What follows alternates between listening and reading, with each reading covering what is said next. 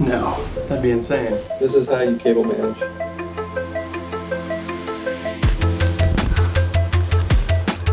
How are we all doing this morning? It's a beautiful Wednesday, and I am headed to Cody Jones' house to paint his color grading studio. We're gonna paint the walls like 18% gray. He got the fancy paint. You know, he's done a lot to help me, to help the channel, to help my filmmaking. This is one thing I can do to pay it back, even though I feel like I'm in debt to you, Cody, much more than what this painting session can do to repay it. Jump in the truck, get to Cody's house, and get to painting. I think it helps to have keys. Gotta double check where I put them. Oh, they're in my pocket. Awesome. Back out of the old driveway.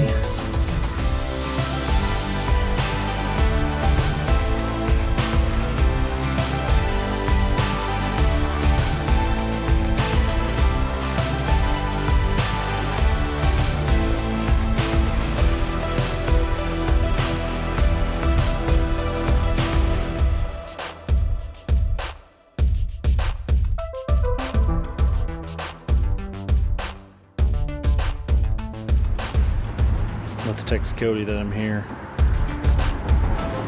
What's up, dude? Morning. Hey, buddy. Got my coffee. Oh man, let's do this. The CX. C1. Oh wow. Upstairs? It's upstairs. Oh dang. Yeah.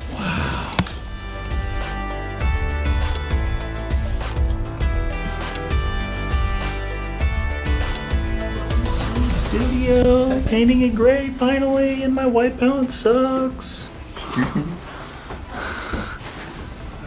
so we gotta like move all this stuff off the walls because we're gonna paint the walls 18% gray. Supposed to be FSI, uh, well, I suppose we'll see it when we paint it. The most neutral you can get over the counter. If you want to go all the way, you can get, it's like $118 a gallon. And why do you want this studio painted gray? So there's the meme with the blue and gold dress, or no, sorry, the white and gold dress, Oh, and, yeah, yeah. and the black and blue dress. And so depending on what light conditions you were in when you look at the image, is how the dress would appear on your screen. Because your screen is always 6500, Yeah, 500. 6500 white balance. Like your super daylight. right? So if you're in like a tungsten room at night with Yeah. tungsten lights, the dress might look different. Right. Same thing with your screen when you're color grading. So that's why you need pigmentless paint. You don't want to have any eye shifts. for your eyeballs. For your eyeballs. Like a, like a like a neutral point to start from. Right. Perfect gray. Well, pretty close to perfect gray. All the cables are perfectly organized. This is going to be such an easy task. This is how you cable manage.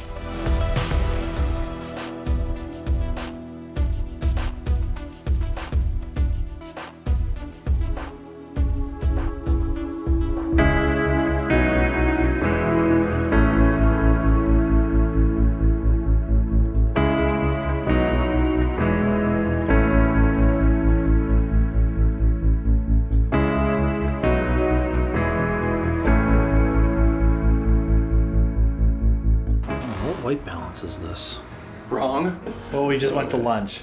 Sorry we didn't bring you guys along. All right, so painting's going good. The wall looks nice and dry, and uh, it's actually looks really good. So we still have two walls left to go. So we have to rearrange the room to get access to those two walls. And I think I've got about two and a half hours left where I can be here, and so we're gonna get it done in two and a half hours Heck yeah. for sure. For sure. So let's quit vlogging and get to it.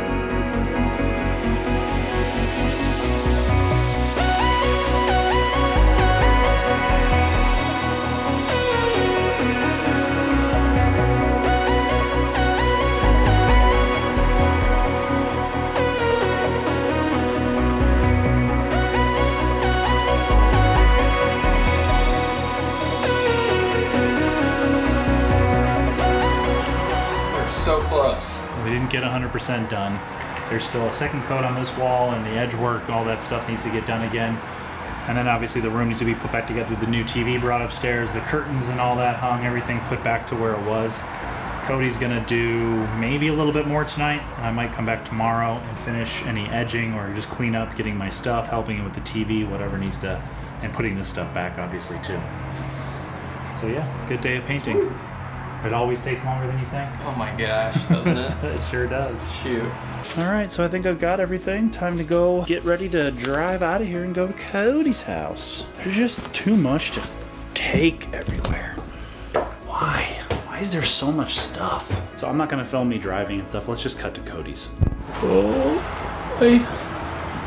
It's looking good though. It is. You can really tell though now that the sun's out again. Yeah. Yeah.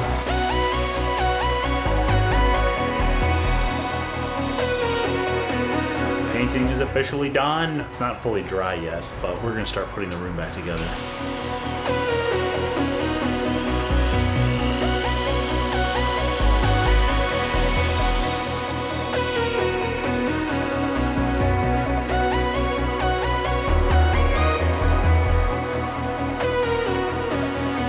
All right, so we got the room pretty much put back together. The couch needs to go back against the wall, coffee table brought in and all that, but we've got the credenza leveled off, the stereo speaker, or most of the speakers, but we gotta get the TV upstairs. TV is the next thing. I have to leave though in, 2.20, I have to leave in 20 minutes. Pick up my kid and bring her home. So we're gonna get the TV up here and unboxed, I think, and then, or I'll take a break and then come back and button it up and see what that TV looks like. Let's see what it looks like. Yeah. So we have to drag it up here. That's gonna be fun. Oh boy.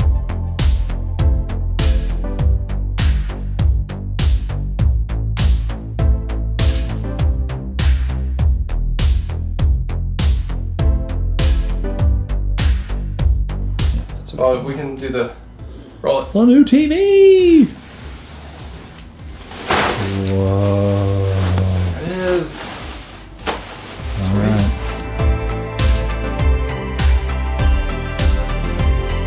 The batteries going into the remote. The stock batteries, Bexel, whatever that is, who knows? But they're gonna power this remote for probably ever.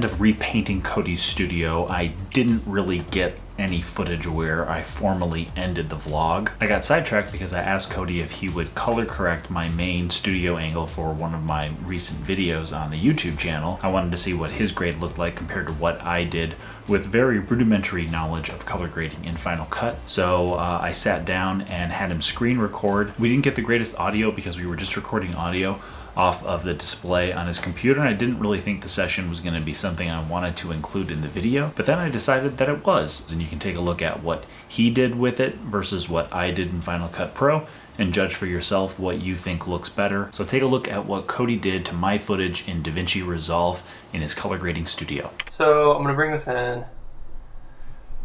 And Matt's very distressed, but I'm gonna just apply my uh, Aces node tree. Um, it's a node tree that I've pre-built uh, that I can use to handle most uh, most color grades. Sometimes it requires some tweaks depending on what kind of footage I'm getting from production. Uh, but most of the time it does the trick. So I'll just kind of bring in my node tree and then I'm going to start with my first node which is uh, the transform from whatever camera color space and gamut I receive into ARRI Log. So I'll take that and input that uh, camera color space and make sure that that gets all set up nice and good. And then um, and then I'll go ahead and apply some stuff. Like this is a quick highlight adjustment uh, that I've made where I use uh, contrast and pivot in order to bring down the highlights with a contrast curve instead of a uh, linear adjustment. So it rolls off a little more like film. Uh, so that's nice. And maybe throw a vignette on But Then I might want to look at like Filmbox, uh, which is a plugin that I got that can apply a film grain and look pretty easily. You know, it looks like we could. I want to try out Scatter too because Scatter is another plugin that I have that emulates filters, filtration. So what I can do here is tell it what color space it's receiving, and then we could look at like a quarter black pro mist. Looks like you're still a little bright. I'm gonna bring you down to like 75 here. Let me show you with and without the pro mist. If you check out the lamp in the top left, Yep. there's with it Yeah. and without. Yeah, you get that really nice, Mhm. soft kind of diffusion coming off the light. Yep. And I mean, what's great is you want to drop in a whole core, a whole pro mist. We can look at a whole pro mist. You know, like yeah. it's awesome. What lens did you shoot on? 50. Uh, no, this is the 17 to 35 2.8. What focal length do you think you were at? I 35. was probably at 30. So I'll enter that focal length as well, which will affect the way the, the Pro Mist looks. Yeah, maybe I'll come in here and correct your skin tones a little bit, because uh, uh, our Filmbox didn't quite handle skin tones so well. And film always, film's always kind of had a green look to it. Um, I think people forget that, and it's also corrected for. So um, I'll still, you know, Filmbox has been very true to film in the fact that they add that back Yeah. and allow you to dial it out.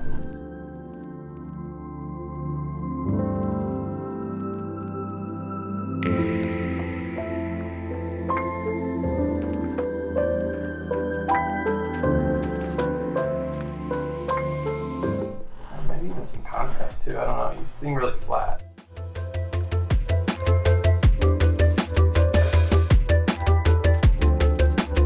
Yeah, there we go. That's what I want. Just subtle. And then I think I also maybe want to white balance this image a little bit here, actually. Before I go too crazy on that. Yeah, this was 5600 with the key light being that 120D. Mm, okay. And then what? I, you probably at 800 ISO, yeah? Yep. Look at like 500T, it'd probably be more.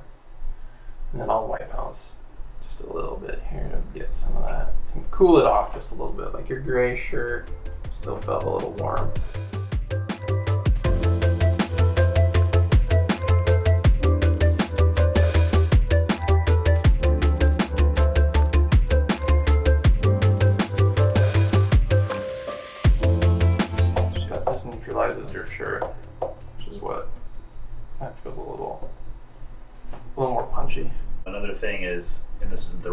For video, but you know, some people recognize split toning, but you know, doing uh, No, you can split tone. You I mean, in the film process, you can.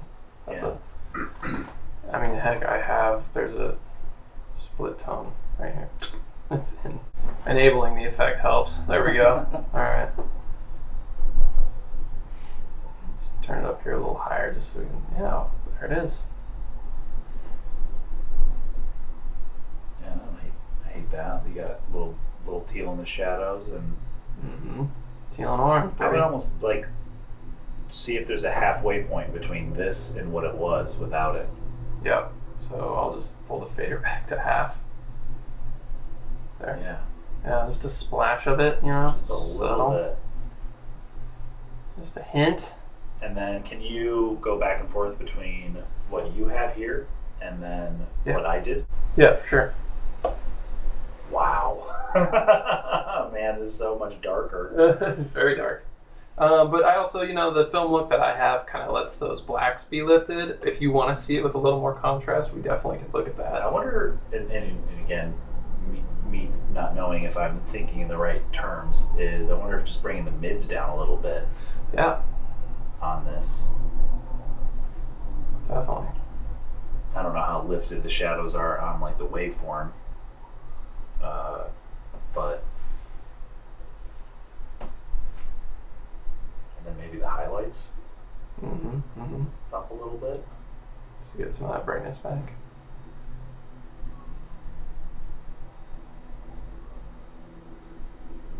Oh hi. Yeah, a little bit. Less of that jazz. Yeah, that's pretty pretty punchy there.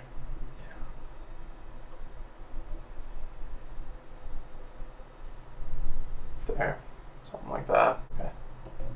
Yeah, definitely. Left it on the base grade, but next clip. Wow, it's just it's shocking how much different it looks. Thanks. Here's that black adjustment I threw on there. if you want it a little, like that. if you want it to be a little punchier, you know, we can bring that down in there too. Yeah. There's yours. It, you know, it feels similar to yours then, you know, and in like look and vibe. The sweater on this one is more pleasing to me for some reason. A Sure. little bit more towards that black and gray color than the blue. Mm, yeah, they like neutralize it a little bit, so it's not so blue. Yeah.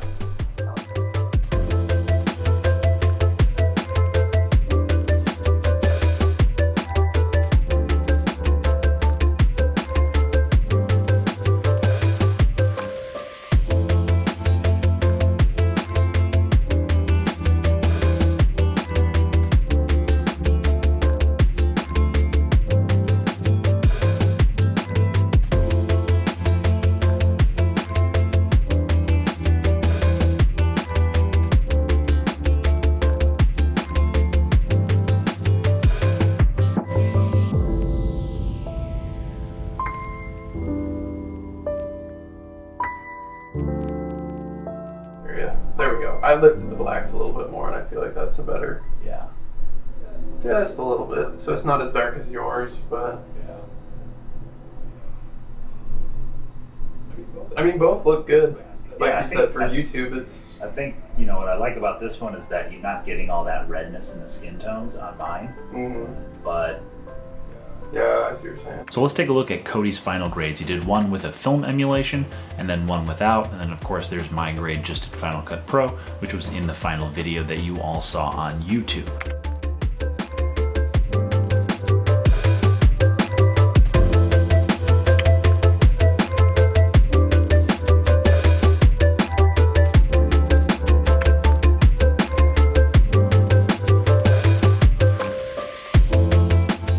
Personally, I feel like the film emulation is a little too stylized and not quite something I would want to use in a YouTube video. I did like the non-film emulation grade and think Cody did a great job tackling my C300 footage. I know I don't do a lot of vlogging on the channel, but thanks to all of you for sticking through it and checking out just sort of a day in the life of helping out a good friend of mine who's always there for me when I need help with my filmmaking and YouTube channel. Cody, I think the studio looks great, especially with that new LG television, and thanks for letting me come along for a couple of days to help overhaul the studio. That's all I've got for this one, everyone. You know the drill. Like, share, subscribe, click, all the things.